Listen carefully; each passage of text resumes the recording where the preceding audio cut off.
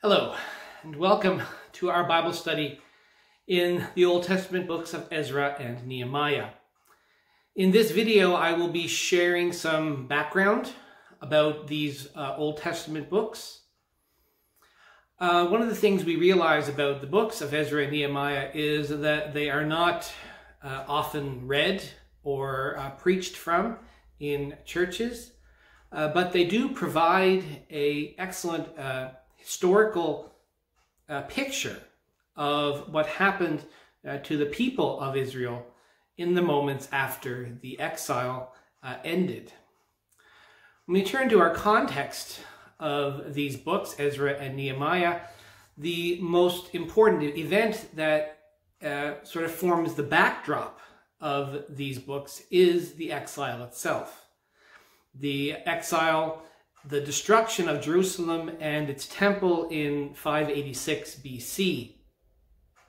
Now, I have described uh, the background to the exile itself in another video on on Ezekiel, my introductory video on Ezekiel, and I will link to that uh, in the description below.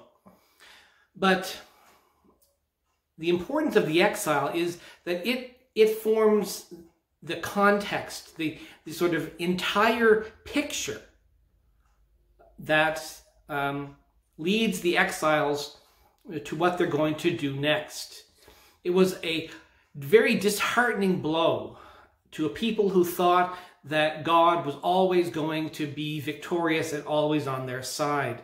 And so the destruction of their capital city, the destruction of the temple, and the loss of their independence was a, a very direct blow uh, to their faithfulness, to the idea that God would always be there.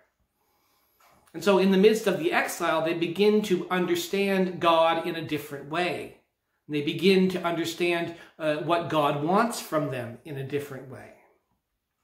And so when we turn to the books of Ezra and Nehemiah, which talk about the return to uh, Judah, the return to the, to the temple and the city of Jerusalem, it, uh, um, their relationship with God is is confronted in a very different, different way. Now, what we see in Ezra and Nehemiah is a new player on the world stage, who is the uh, Emperor Cyrus, who leads the Persian Empire. Now, Persia had conquered Babylon in 580 in 539, 539 BC, and it is in 539 BC that uh, Cyrus begins his new uh, program of sending the exiles that are in Babylon, sending them back to their homelands uh, to restore their uh, cities, their religion. And he does, and Cyrus does this not only for the people of Israel, but for other uh, subject peoples who had been conquered by the Babylonians.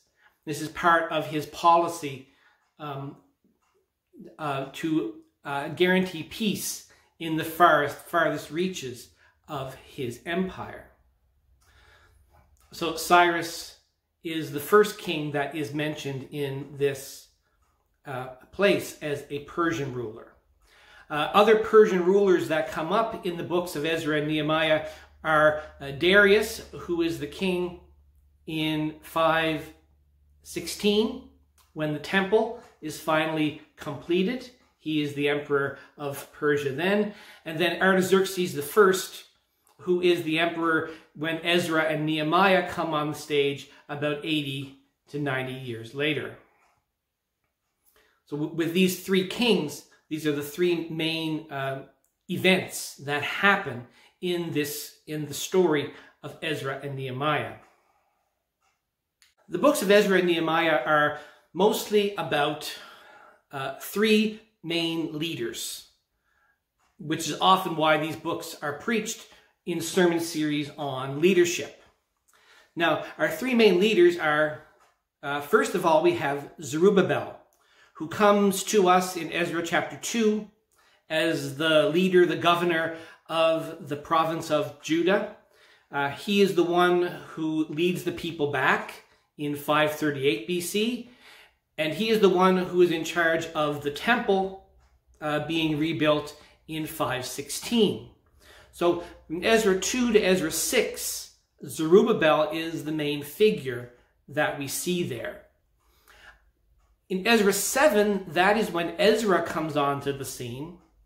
Uh, Ezra as the uh, scribe and the one who wants to bring in, bring back uh, God's law.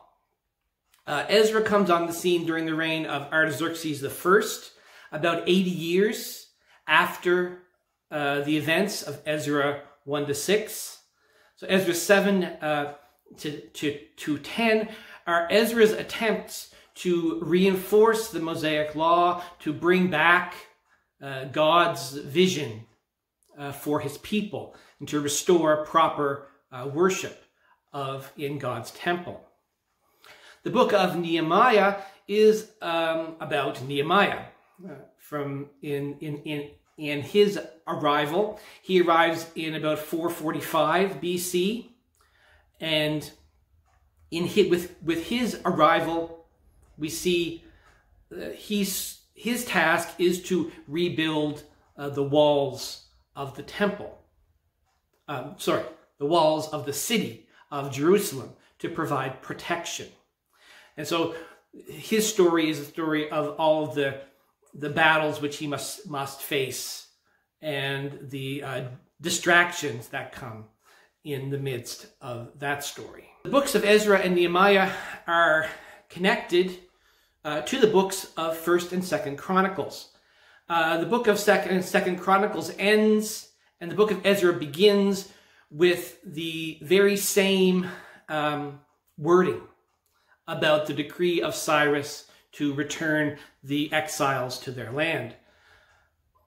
The uh, authorship of these books has traditionally been ascribed to uh, Ezra, and although we're not quite sure if Ezra was the writer of these books, what we do know is whoever wrote the books of Ezra and Nehemiah had access to uh, Persian court records, had access to uh, some memoirs of both Ezra and Nehemiah, which are put forward. Um, we also have a, a tie-in between the books of Ezra and Nehemiah and the prophetic books of Haggai and Zechariah. Uh, Haggai and Zechariah, who are very instrumental in the rebuilding of the temple during the reign of Darius in 516 BC. And we'll see that in the mid part of the book of Ezra. So what is the basic uh, theology of the books of Ezra and Nehemiah? The first uh, theological points that I'd like to, to bring out that are going to be brought up in this book regard um, the description of who God is in this book. The idea is that there is a continuity with the God that of the exiles with the God that had made the covenant and the promises with his people in the past. What this wants to tell us is that God is the keeper of promises, that God is faithful to his covenant, that God is the protector and the provider for his people, and that God wishes to be worshiped according to the law that he gave to his people. Now, on the other side of that, we have the idea of who are God's people in this story. And God's people, the, the main focus is this return to the land that was promised to them. The return to the land, the rebuilding of the temple, the rebuilding of the city, the restoring of all of the things which they lost in the exile. And that restoration, although it is in no way uh, compares to what they had before, it is a piece of what God's people want. Uh, they struggle in the in the land, but it is the land that God promised.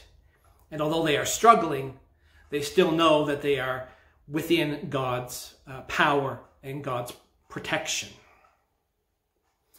Now, one of the crucial things in this book, and I bring this up because uh, I, I, read it in uh, one of my commentaries, to ask why do we read this book? What purpose is there in studying Ezra and Nehemiah? And R.J. Coggins uh, gives two reasons why we should uh, study this book. And the first is uh, for historical reasons. Uh, but the second reason is that he says in his, in his, in his commentary that we have a claim to be the people of God. Uh, that is our claim as whether we're Jews or, or, Christians, we claim to be the people of, of God. And his question is, what does that claim mean in terms of identity with and separation from the surrounding world? And that's a question to which we have no easy answer. And the answer which is given in Ezra and Nehemiah, especially with regard to intermarriage, may not be the answer which we want to give in our world today. But it is a question which we have to come to terms with. Especially when we ask ourselves, what does the claim to be a people of God mean? And how is such a people to be differentiated from those sometimes sympathetic, sometimes hostile, among whom they live. How do we maintain the distinctiveness of being the people of God in the midst of a world that is, as Coggins says, sometimes hostile and sometimes sympathetic, just as the people of Israel in their return had to face that uh, same battle. So, how do we face that battle? And how do we find our our place distinctive from that, from that world. So that's what this book is going to be about. It is about a people trying to find out their distinctiveness, trying to find again their distinctiveness.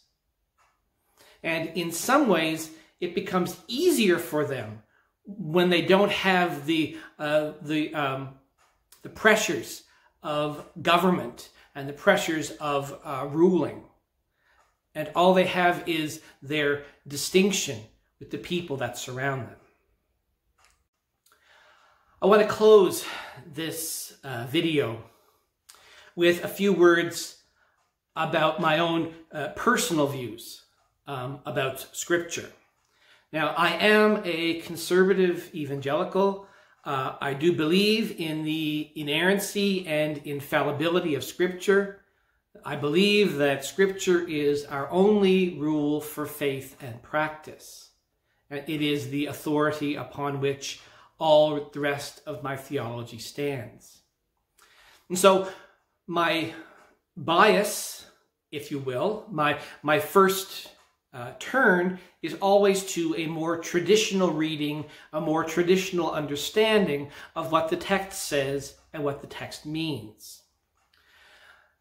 Now, that does not mean that I have not um, taken it upon myself to uh, add uh, other voices uh, to my study. I have added uh, to my study not only those who agree with me, but also I have been uh, reading uh, resources and commentaries from a more moderate pr perspective or from a liberal and critical pers perspective to get the, the full range of interpretation. And from that, uh, I will present um, those questions. Because there are a, lot of questions that come up in the midst of this book uh, especially re with regards to history, with regards to uh, numbers, with regards to uh, names, and, and, and, all sorts of uh, different, different aspects that are there.